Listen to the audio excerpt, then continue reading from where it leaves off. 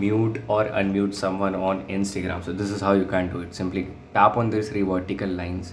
Here scroll down and what in the option of what you see there is an option of muted accounts. So tap on the muted account. So this account is currently muted. So tap on unmute to do unmute any instagram account. Now what if you want to mute someone? So here is how you can do it. Simply get into the section. Suppose i want to mute the Naval's account. So simply tap on this. Here is a following button and there is a small down arrow. Tap on this.